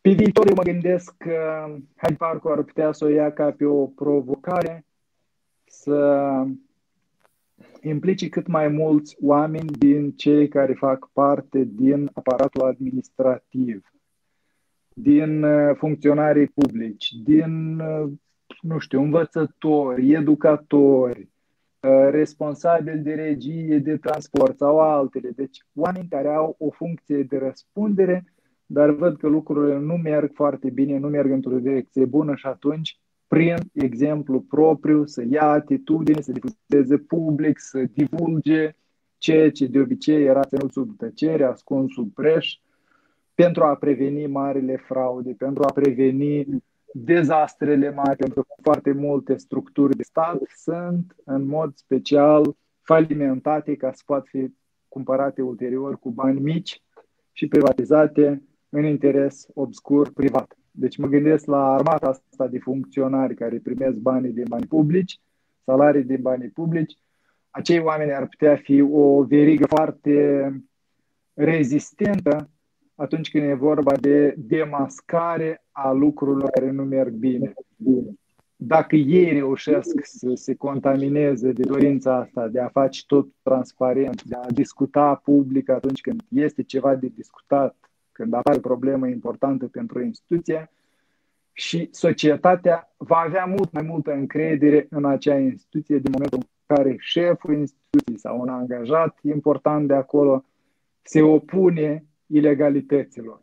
Deci cred că Hyde Park ar putea să fie util inclusiv în dimensiunea administrativă. Nu mai zic dacă vreun membru Hyde Park sau un simpatizant Hyde Park răzbate în funcții uh, publice, răzbate în Parlament, răzbate în guvern. Deci s-ar putea ca acei oameni să facă altfel de uh, activitate în interesul cetățenilor, altfel de politică, așa încât să dea tonul anumitor schimbări. Deja rămâne de văzut la ce ridici capul, schimbări spre bine sau spre rău. Eu totuși cred că în Hyde Park multă lume a învățat uh, chestii importante, chestii de bine pentru societate și dacă vor ajunge să ia decizii, nu vor fi decizii uh, proaste în detrimentul cetățeanului. Mulțumim, Ghenadie. Nu știu ce căști bengoase ai tu, dar se aude foarte ciudat cu zgomot. Nu contează. Până la urmă, avem mai mult de o oră de când vorbim, îi trecut de ora 10 ca să nu facem zgomot și să nu trezim vecinii. Eu zic să venim cu niște concluzii, cu niște urări pentru următorii 25 de ani sau cât o să mai reziste gruparea asta și să mergem la culcare, că mâine începe perioada foarte grea, cel puțin pentru mine. Mă duc la CEC să cer liste de subscripții să candidez independent. CEC fiind Comisia Electorală Centrală. Nu cartea de, sau cum era, cum, Cristian, cum, cum se decifrează CEC în română? Uh, livretul acela de economie. Casa de, casa casa de economie de și consignațiuni, ceva de felul ăsta. Da, da, da, da, exact. Primul prieten al românului de pe vremea lui Ceaușescu, când puneai acolo sută peste sută ca să poți să-ți iei o dacie, să poți să-ți iei un, un lăstun. Un lăstun. Corect. Nicolae Arpente îmi zice despre Costiu că nu-i patriot. Atenție, o știu toți din Orășelul Libertății din 2016. Nu știu ce înseamnă pentru voi patriot. Patriot nici eu nu mă consider, mai degrabă mă declar cosmopolit. Da. Constantin Racu zice violența și abuz de putere în societatea noastră este la cei de la pârghiile puterii de stat și la cei ce trebuie să ne protejeze, poliția de stat. Da, da, în mod normal, statul ar trebui să aibă grija noastră, nu? Și prin legea despre poliție scrie că trebuie să protejeze drepturile omului, în primul rând. Câți dintre polițiști știu despre drepturile omului și câți dintre ei au citit măcar legea despre poliție? Cei mai puțini, nu. Cei mai mulți, nu. N-au citit cam nimic, că sunt prea multe buchi și doare capul. Câți dintre ei știu să poarte mască, deși ne impun nouă să purtăm mască și ne amendează și ne hărțuiesc? Am văzut recent videoclipul tău. Mm, am multe, aproape în fiecare zi filmez polițiști care nu poartă mască și aici și în România. În România deja am dosar deschis pentru CEDO, că ne-au refuzat toate instanțele. Vă dați seama, i-am sesizat că nu poartă mască ei m-au legitimat abuziv și după aceea m-au agresat fizic și verbal. Și m-au amendat a doua zi, amenziile cele au fost păstrate de către instanțele de judecată. Parchetul până acum încă n-a făcut nimic să-i pedepsească pentru abuz. Deci vă dați seama dacă și magistrații, procurori, judecători Ei, sunt bine. într-o poliția locală, păi vă dați seama ce, câtă dreptate avem în România, vai de capul la noi la, la noi, la Ploiești, cel puțin polițiștii locali și-au luat scutiri că nu pot uh, lucra la timpul 2 și 3 pentru că au tensiune, pentru că au diabet, nu vor să poarte arme. Da, am auzit de scandalul ăsta, am văzut, am văzut în presă. Deci uh, mai rău ca domnișoarele. Acum să mă scuze, doamnele, că nu sunt misogin, dar uh, faptul că ești polițist. Comparația tot... asta trădează anume misoginie, sexism. Nu, nu, nu. De ce e rău? ce cu domnișoara? Am mare respect pentru doamne, dar uh, nu consider ca un polițist deci, de nu, sex. Deci nu compara niște, niște polițiști leniși, niște polițiști leniși și fricoși, nu compara cu domnișoare, pentru că asta e manifestare de sexism. nu, uh, nu asta iată, e. Iată, asta nu ne preocupa, sigur. Cu 18 adică ani în urmă nu ne preocupa Atât de ceva. fragil și Dacă de gingaș, uite ca să o dreg, atât de fragil și de gingaș ca o doamnă. Și, și nici, nici asta nu e adevărat. Poate fi o doamnă care să-ți dea un pumn și să-ți bâzăie ureche toată săptămâna. Deci lasă-mă cu gingă și ea și cu prejudecăți, stereotipuri despre femei. Sunt fel de fel de femei, la fel cum sunt bărbați. Da? Care... Mai gingași decât polițiștii cei. Am auzit că unul a întârziat la operațiune că era la pensat. Un da, polițist, da, da, bărbat. Da, da. Și ce, ce să zicem de domnișoare? Și el, domnișoara a sărit cu pieptul dezgolit și a salvat trei vieți omenești. Și domnișoara care a țâșnit din mașina de poliție rutieră de la voi și era cât pe ce să te bată. Da, da, da, da era foarte agitată. Cât de la, noi, la noi problema, pe lângă poluarea istorică, unde la trei minute, așa cum spune și doamna scriitoare Camelia Iuliana Radu, președinta Asociației Stop Poluării Ploiești, uh, fiecare, la fiecare trei minute câte un ploieștean moare de cancer de colon sau de diferite alte afecțiuni respiratorii.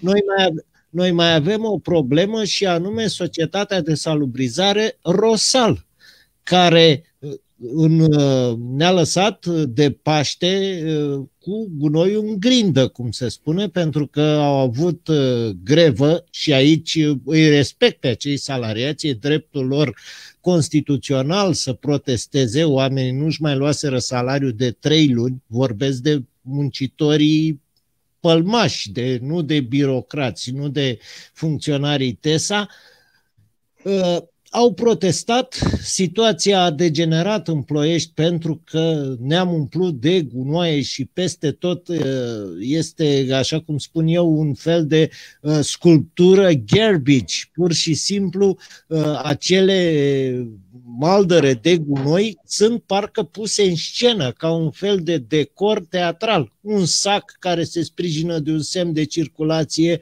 o canapea parcă care te îmbie să te așezi la un colț de stradă. Cred că o să scăpăm de o să scăpăm de COVID-ul ăsta și cred că o să ajungem să reînviem, probabil Ploiești o să fie unic în Europa, boli de mult uitate din uh, evul mediu, ciumă, holeră, pentru că, într-adevăr, datorită gunoaielor neridicate și mai ales în uh, sectorul ăsta de blocuri, la genele de la blocuri, au început să, ara- să apară șobolani. Îmi scriu oamenii că sunt șobolani mari cât pisicile. Și chiar am inițiat o petiție uh, prin care se cere, de fapt, Asociația Stop Polorii Ploiești a inițiat acea petiție, rezilierea contractului cu acest rosal și demisia președintelui ADI Deșeuri. Numele Cristian Ganea nu cred că vă spune mare lucru, așa se numește om, dar uh, este, este o situație, acest ADI deșeuri, această asociație intercomunitară, este un fel de cuiul pe pelea. Pentru că există două tipuri de contracte. Unul încheiat primărie și acest rosal pentru măturat căi publice, bla bla bla, prin oraș, asta e face-to-face, și contractul de ridicare a gunoiului menajer de la populație, care este încheiat cu Rosalul prin acest ADI deșeuri.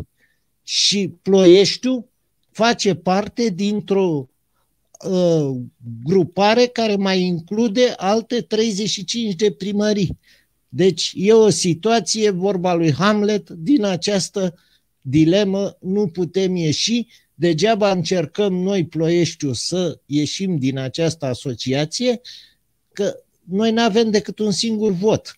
mai trebuie să vrea 50% plus 1 din aceste 35 de primării, altele decât Ploieștiul. Și astea sunt cele două uh, direcții de luptă care le ducem în Ploiești. Un alt coleg de-al nostru, Harigean, a filmat la el în sat la um, Cioranii de Prahova. Am văzut, am tot văzut. intervenția echipei Rosal și se pare că unul dintre muncitorii pălmași sau cum ai zis dumneata e afectat deja de alcoolism la servicii a venit eh, beat turmentat. Asta, asta Eh, este Dacă ceva- oamenii n-au ce mânca, găsesc bani de băut. Da. Asta este ceva normal la ei pentru că săracii, așa e munca lor, este o muncă foarte toxică și cu băutura asta mai rezistă că mai omoară microbii. Uh, Eu am uh, văzut și uh, Eh, Asta protestele e o lor. prejudecată. E o prejudecată să zici că omoară microbii băutura. Cât de tare trebuie să fie spiritul pe care îl bei ca să omoare niște microbi. Am Pur văzut și și pe, la, simplu. și pe la oameni că se șterg cu șervețele din astea umede, ci că antibacteriene sau se dau cu spray cu geluri antibacteriene. Dar acolo scrie că e zero alcool, fără clor. Deci ce salivă e asta? E ca și cum te-ai spălat cu urină de, de vacă să crezi că are Da. efecte. Eh, Sau să bei aghiazmă și să crezi că te tămăduiește. Este, este ce au ei mai la îndemână, că să nu crezi că consumă Da, băuturi noi- din astea foarte fine sau nu, ce să nimerește o țuică, un rachiu, cel mai prost, cea mai drojdie nenorocită, pentru ei e bun pentru că îi uh, le ridică, cum se zice, nivelul așa și îi face să, să mai poată munci în stil robotic, așa, până cad, până intră în coma de, de alcool. uh. Pot să intervin și Da, eu? oamenii. Da, vă rog, sigur. Iată și Elena a revenit. Și vă spuneam, adică Elena a revenit, îi ofer ei locul pentru că mâine într-adevăr am Nu, și nu, păi eu n-are de și- gând să vorbească. Abia a revenit. Hai că dumneavoastră ați prins rând de mult. Păi zic că eu uh, totuși vreau să propun să încheiem această discuție dacă doriți sau Mhm. vă las, vă las ca să mai continuați pentru că mâine am și eu o ședință de judecată și dacă este vorba despre baricade, într-adevăr, mâine iarăși am, am să fiu în fața instanței apărându-mi un drept încălcat. Uh, Deci, ce am învă- învățat de la Hyde Park am spus, vă urez, ne urăm pentru viitor. Să nu pierdem curajul, să fim la fel de curajoși, să fim la fel de, la fel de insistenți și să ne cunoaștem uh, drepturile și să cerem să ne fie respectate. Eu vă lăs, deoarece sună și telefonul. Vă zic numai bine, mulțumesc mult pentru această participare, pentru această discuție. Vă salut, domnul Cristian, vă salut pe toți. Ghenadie îl admir, într-adevăr, Ghenadie ne-a dat acum un, uh, o scânteie ca, pe care eu, iată, nu am realizat-o despre faptul că cineva ar invoca că nu sunt bani pentru alegeri. Uh, Vă mulțumesc mult, mai mult nu comentez. Vă zic numai bine, sănătate, succese și salut fetelor să fim unite, să, să demonstrăm că și femeile pot și sunt curajoase și numai bine. Elena, ne auzim? Ne auzim, Larisa? Numai bine. Cele Da, bune. Mă e mulțumesc. timpul- mulțumesc e mult că am timpul întâlnit femeilor, ai da. voștri 18 ani și ai mei peste 60. Ne auzim încă.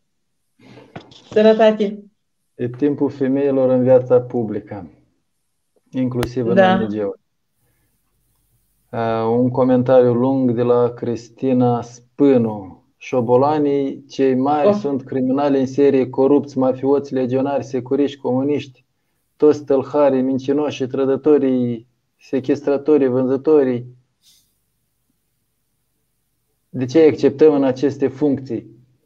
Noi, prin educația civică pe care o facem pe Curaj TV, prin microfonul liber, încercăm să trezim spiritul critic al uh, cetățeanului, uh, ca să fie bun și la alegeri și în, în afara alegerilor, să fie bun și în apărarea drepturilor sale și în apărarea drepturilor altora. Deci vrem să facem o societate participativă, democratică, liberă. Și o societate nu-i bună doar prin legile sale sau prin instituții funcționale, dar și prin cetățenii care își cunosc aceste drepturi, aceste legi și le invocă în fața instanțelor și revendică acele drepturi sau manifestă solidaritate ca să-i apere pe alții, nu doar pe sine sau numai pe rudele proprii. Deci asta noi încercăm să educăm de, de 18 ani, când mai intens, când mai relaxat. Da, domnul Marin. Uh, nu, ascultam. Ascultam. Ah, că am auzit ceva și am crezut că eu, eu, eu, da, eu am vrut să zic că eu tot o să, gata, cam și eu o să ies din discuție, dar vreau să zic că da, exact cum ai vorbit tu acum la urmă, că de încercat de trezit spiritul să-i, adică în afară de că să-și cunoască drepturile fiecare om în parte, să gândească, să, să unii nu sunt obișnuiți să se gândească critic, exact cum ai spus tu. Și fiecare om, de fapt, poate găsi uh, soluții uh, când este într-un impas, are probleme, dacă și odată, două ori cineva îl ajută să aibă, uite, o gândire critică. Și dacă prin activism civic, prin exemple, prin, până la urmă se învață fiecare omul, îi arăți drumul și cum zic marii acești filosofi învățați, că important e dacă vrei să ai elevi buni, tu nu trebuie să-l duci de mână toată viața, să-l înveți ce să facă, dar să-i deschizi calea. Eu cred că activismul civic e o posibilitate de a deschide calea multora. Să gândească critic, să aibă curaj, să-și cunoască drepturile și multe altele. Cred că este o posibilitate. A-l aduce pe om că să-i arăți să-și poată urma calea cu curaj, cu fața în sus, capul ridicat, adică cam așa văd eu lucrurile a activismului civic. Că unul din aspectele. Mulțumesc. Da. Elena, a... o concluzie, un gând bun de final? Da, Elena.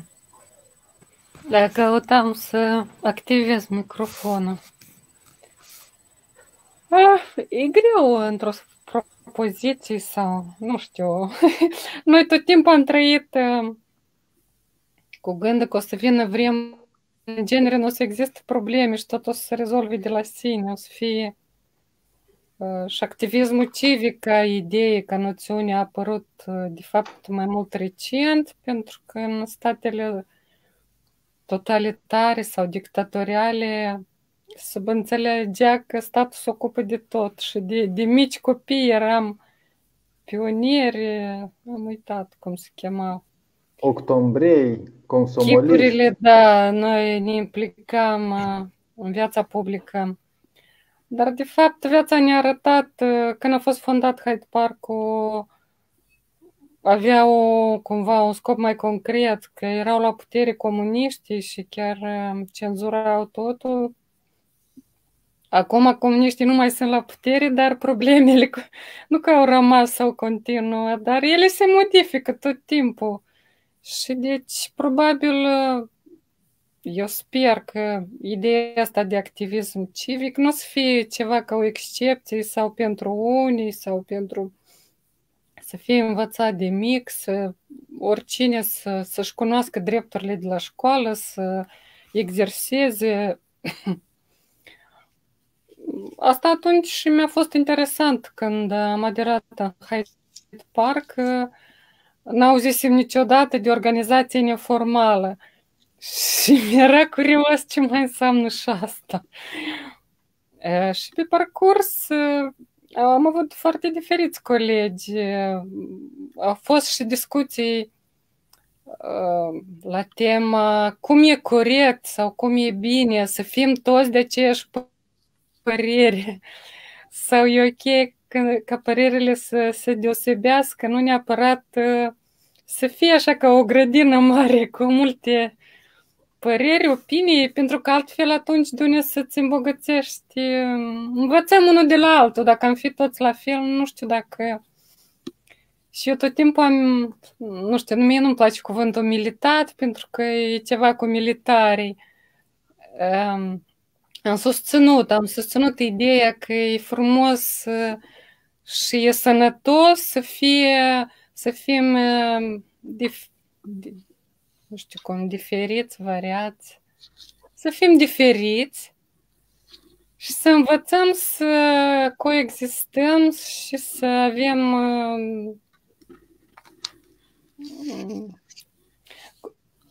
Analogia mea este iarăși cu o grădină. Fiecare să aibă părerea personală. Toate.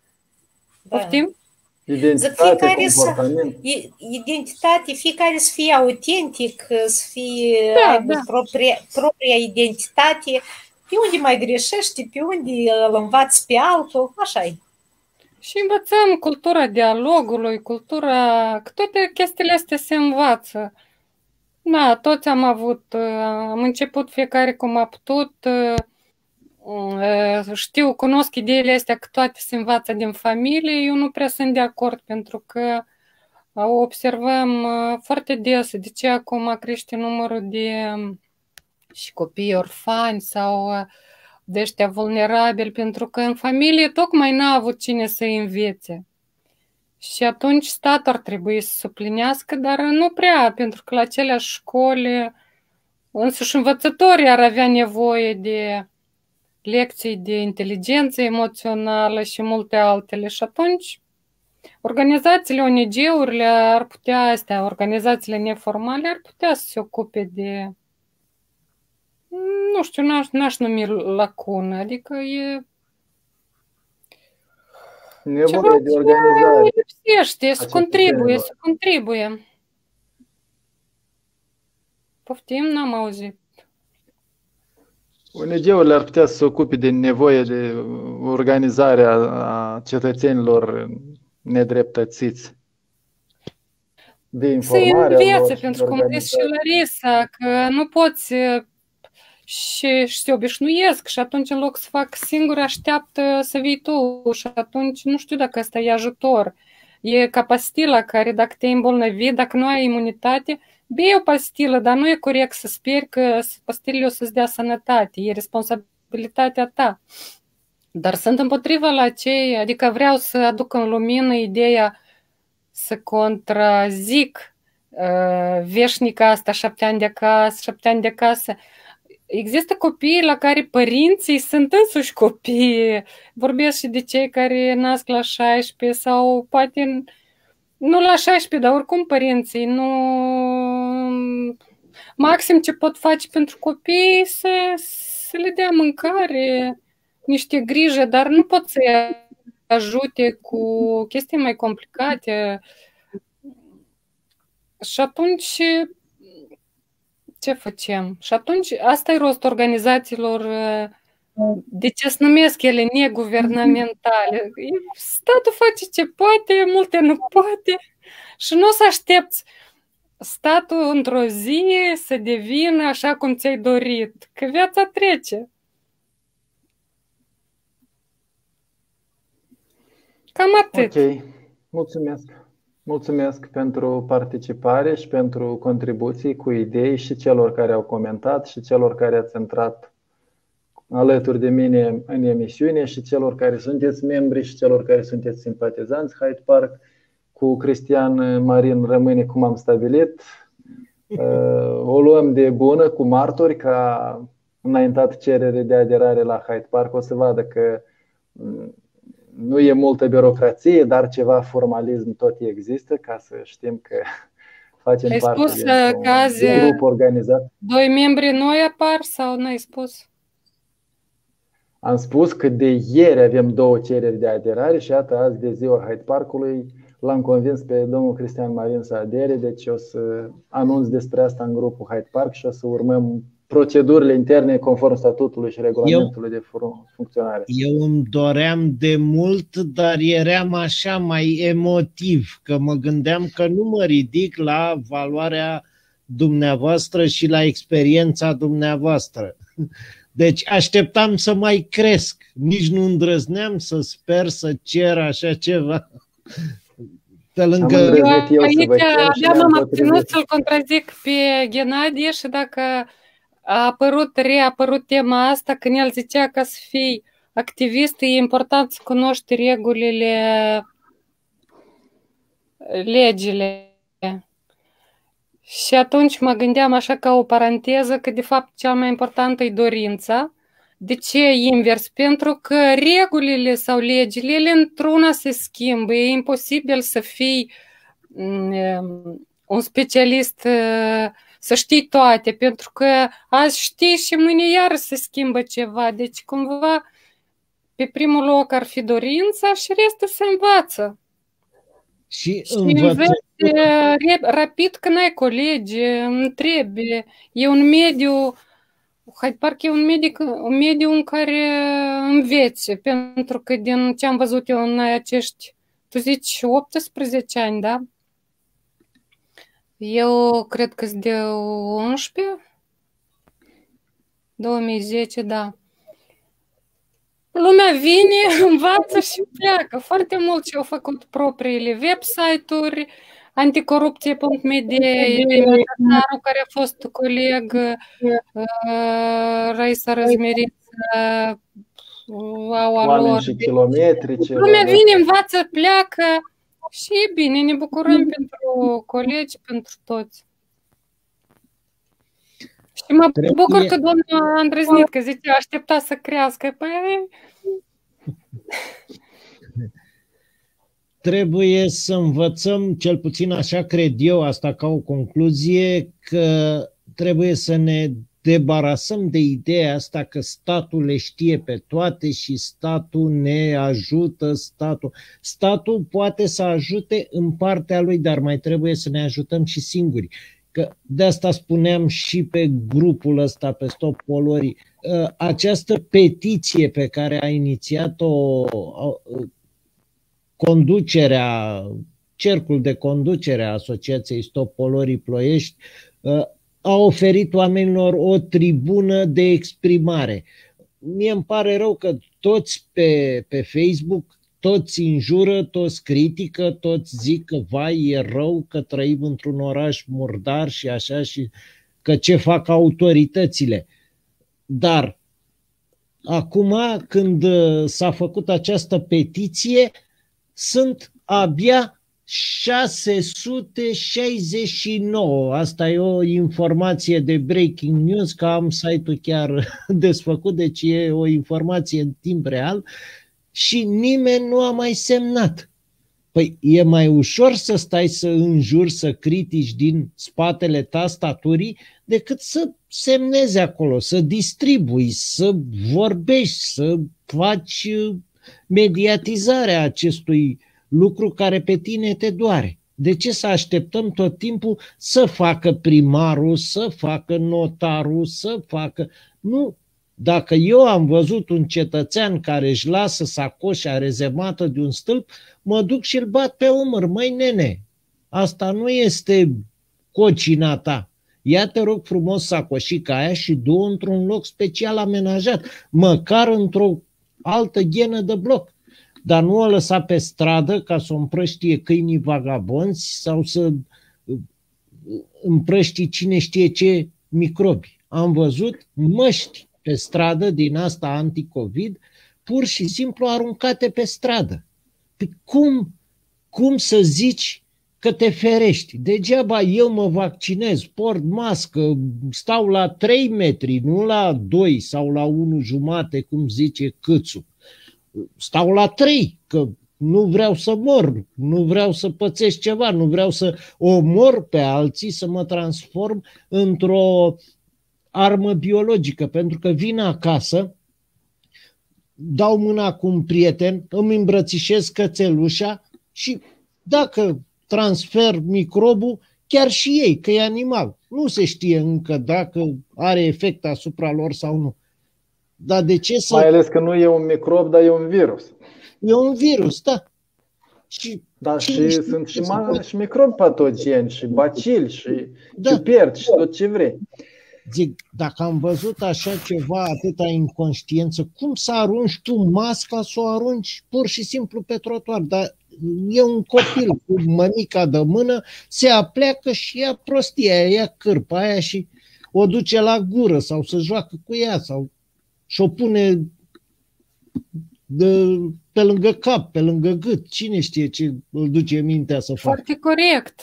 Un, cum ziceam, un stat puternic, el nu apare de nicăieri, el se bazează pe cetățeni puternici. Altfel e un fel de dictatură care poate pretinde că e stat puternic, dar dacă cetățenii sunt slabi, același primar, dacă știe că nu va răspunde, nimeni nu-i cere socoteală, deci empower, cum în, în română empower? Puternicești. Prin fiecare cetățean, dacă se simte în drepturi și în putere, atunci statul devine altfel.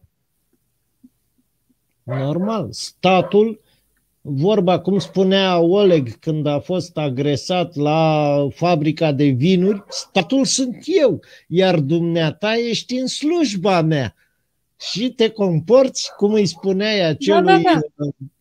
Uh, de la oficiu juridic, iar dumneata te comporți lamentabil. Deci asta e. Eu de asta am zis că studiez uh, uh, videoclipurile lui Oleg. Sunt niște lecții de viață extraordinare.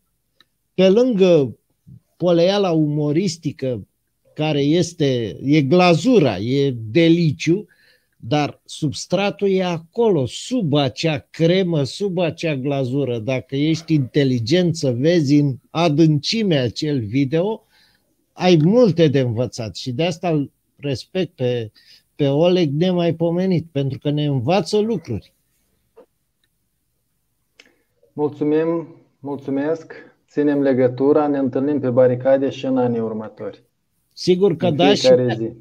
Te așteptăm cu drag și la Ploiești, chiar doamna Camelia Iuliana Radu uh, te așteaptă, vrea să te cunoască într-un interviu pe care i l-am luat cu ocazia unei alte petiții prin care am îndreptat o greșeală Ploieștiul nu era trecut pe lista uh, orașelor poluate, ei bine, am reușit să trecem Ploieștiul pe lista orașelor poluate din România. Uh, i-am vorbit despre tine, i-am vorbit despre Hyde Park, uh, dânsa mi-a spus că da, cunosc, e din Anglia, Hyde Park-ul era singurul loc unde puteai să vorbești despre regină și să o înjuri și să astea fără să te atace, așa. Și îl aștept pe prietenul uh, tău, pe domnul Oleg Brega, să ne facă o vizită la Asociația Stop Polorii Ploiești, să-i strângem mâna, să-l cunoaștem, să-l vedem de aproape. Am zic, am să-i, tra- am să-i transmit, zic, cu prima ocazie, când voi avea ocazie, am să-i transmit. Acum, cu martor mi-ați transmis. Deci, ești uh, binevenit la Ploiești, te așteptăm cu drag oricând, ca și pe ceilalți prieteni ai tăi. Uite, doamna, doamna Elena, doamna Larisa, parcă a fost mai devreme. Cine da. dorește? Da. Noi și sunt 14 spectatori care sunt cu noi și care mulți, câteva sute sau mii, ne vor privi în zilele următoare. Oleg poate veni cu șeful, cu șeful gărzii de mediu, Octavian Berceanu, nu de recent, era un onigist de care la fel luau peste picior cine ești tu și acum el cu foarte mare succes îi urmăresc pe Facebook paginile, i-a pus pe toți la treabă și a descoperit foarte rapid de unde vine poluarea, inclusiv în Ploiești. Da, dar toți senzorii de poluare din Ploiești dau un aer al naibii de bun de respirat. Maxim galben, dar niciodată roșu e verde-galben. E, noi suntem, avem uh, auzenii, avem mirosenii, avem, dar miroase mai ceva ca într-o budă. Bine, asta când nu emite Dero, când uh, ne parfumează Dero și mai ales când plouă, pe rigole în ploiești se fac bulbuci ca la mașina de spălat. Poți să iei o rufă, un ciorap, dacă e, te descalzi repede, l-ai spălat la rigolă, ai Dero de la Dero Lever și gata. Pleci fericit acasă. Este... Eu am Există amintit și de senzori o alternativi, nu pentru doar că acei lui- oficiali. Lui mulți îi reproșau că ce ai să rezolvi tu. Și până la urmă, lumea schimbă cei care încearcă să rezolve, care ceva se mișcă. Cei comentații, Da. mai puțin schimbă lumea. El a reușit, da, el a început de cale, de câteva luni abia e în funcție. Cred că abia de o lună, din 11 aprilie și azi e 11 mai. Seri, Mulți într-o ani. lună atât a făcut? Sau 11 martie, deci poate două luni are. Dar știu că e din 11 și el. Chiar azi am citit la știri că deja opresc uh, marfă după marfă în port, aduc gunoi. Cineva importează sub formă de nu știu ce, de fapt aduc gunoi, Destinatarul este, încasează o, bani și ard aici. Destinatarul este o firmă de la noi din Prahova, doamnă. Da, Deci tot la bietul ploiești să adaug acolo. suntem Am avut aproape. și scandalul cu Ecobornu, marele incinerator de produse din astea, i-au ridicat autorizația. Hai că ieri a, a cerut E să mult adere de la lucru. Hyde Park un artist plastic, azi a cere să adere la Hyde Park un activist verde. O să mărim aripa verde a Hyde Parkului. Ținem legătura. Hai, trebuie să închidem că e târziu. Noapte Bun. bună. Noapte bună tuturor, îmi pare bine că v-am cunoscut și la mulți ani, hai pat! Seară bună.